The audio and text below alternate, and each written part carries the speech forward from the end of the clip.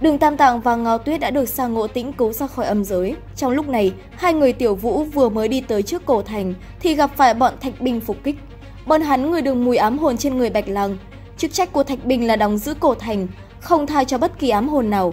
Bạch Lang còn chưa kịp phản ứng thì đã bị Thạch Binh khống chế, sau đó nhốt ba người vào trong một cái lò thiêu, châm lửa định thiêu sống ba người.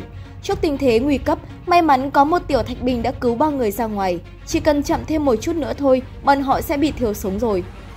Tiểu thạch bình đưa bọn họ ra ngoài có số thứ tự là 996. Lão đại của bọn chúng tức giận, dưới lời thách thức của tiểu vũ, bọn họ đồng loạt phóng mũi lao về phía tiểu vũ. Ngăn cản xong mưa lao thì bọn chúng đã xông lên trên bao vây. Đám người tiểu vũ bỏ chạy nhưng chạy đầu cho tắt nắng, con đường phía trước đã bị chặn lại. Nhìn thấy hai người gặp khó khăn, Nhất Hồ đành phải đưa ra quyết định. Vì uống máu của Tiểu Vũ nên hắn cũng bắt đầu bị ảnh hưởng. Hai luồng sức mạnh thiện và ác trong người xung đột. Cuối cùng, hắn vẫn chọn cách cứu mạng Tiểu Vũ. Hắn xông lên dùng móng vuốt sắc bén tiêu diệt một tên thạch bình. Tưởng là đám này bất tử nhưng ai ngờ cũng bị giết chết như bình thường. Sau khi tiêu diệt thêm vài tên ngáng đường, bọn họ cũng có cơ hội bỏ chạy. Lão đại thấy vậy lập tức chạy tới chặn đường. Cơ thể hắn giống như quả bóng, liên tục lăn xung quanh ba người. Nếu không may bị đụng chúng thì sẽ bị đè bẹp. Tên lão đại này chính là thạch binh đầu tiên và cũng là kẻ đã xây nên cổ thành, nên hắn tự nhận mình rất vĩ đại. Hắn bất ngờ tấn công từ trên cao xuống, ba người tránh né rồi nhân cơ hội chạy vào rừng nhưng không thể chạy thoát. Bạch Lang liều mạng giải cứu Tiểu Vũ nên bị dính trưởng. Chưa kịp để cậu kịp đứng dậy thì tên kia đã lao từ trên xuống dưới, đâm thẳng vào người Bạch Lang, khiến cậu gãy nhiều khúc xương. Giải quyết xong một người, hắn ta tiếp tục xông về phía Tiểu Vũ. Nhất Hồ lao ra ngăn cản, hai bên giằng co kịch liệt. Bạch Lang dù bị thương rất nặng nhưng cậu vẫn có thể đứng dậy. Dưới sự hợp lực, hai người đã ném hắn ta trở lại cổ thành. Thế là kiếp nạn tạm thời vượt qua. Bọn họ bây giờ lại quay trở về khu rừng rậm ban đầu. Đám kia chỉ hoạt động xung quanh cổ thành nên sẽ không đuổi tới đây. Tưởng là sẽ được an toàn nhưng ai ngờ tên kia thực sự đã đuổi tới. Vì dục vọng muốn báo thù nên đã biến thành ám hồn. Nhất hổ không may bị đánh trọng thương. Thực lực hắn ta bây giờ đã mạnh hơn xưa. Tiêu Thạch Binh lao lên tấn công. Đáng tiếc còn chưa kịp làm gì thì đã bị nuốt vào bụng. Tiểu Vũ và Bạch làng cũng nhanh chóng bị bao vây. Đúng lúc hắn định làm thịt hai người thì đường tam tạng đã xuất hiện. Ông bắt đầu niệm chú ép lực lượng ám hồn ra ngoài cơ thể hắn. Hắn ta vẫn cố chấp không chịu quay đầu, thế là đường tam tạng đành phải tiêu diệt mối nguy hại.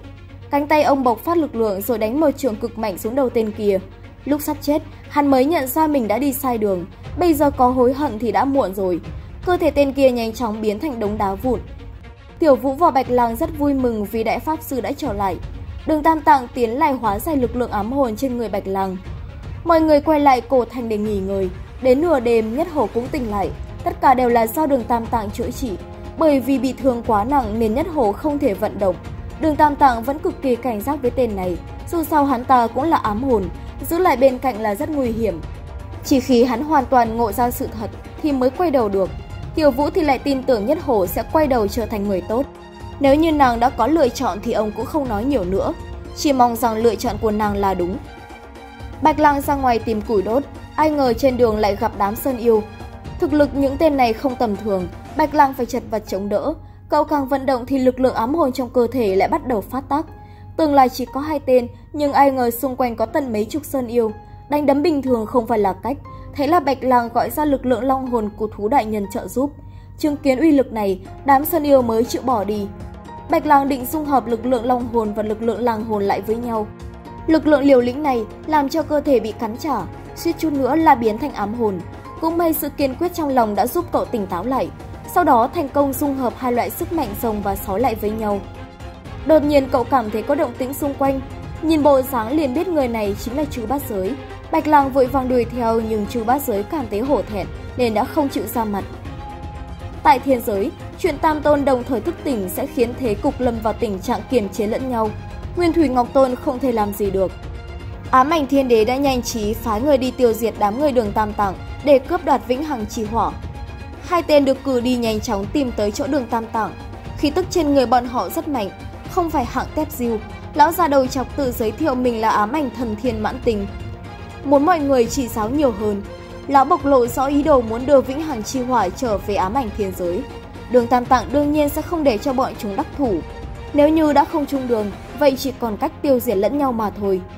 Sau một vài câu mỉa mai qua lại thì tên ám hồn bị băng bó khắp người cũng đồng thủ, mục tiêu nhắm tới chính là đường Tam Tạng.